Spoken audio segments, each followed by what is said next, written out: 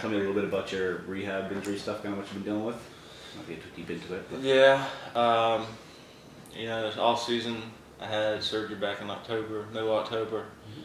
Um, they found a little tear that I'm pretty sure this time it, it's gonna work. So okay. it was, it's been a long battle, but you know, I, I feel like I'm being either prepared for something or I was kept out of something. So looking at it in a positive Yeah, form. I can see on your face kind of how you've been dealing with it, you know? Adversity tough, eh? Yeah, for sure. I, it's definitely made me mentally, mentally stronger. That's no doubt about that.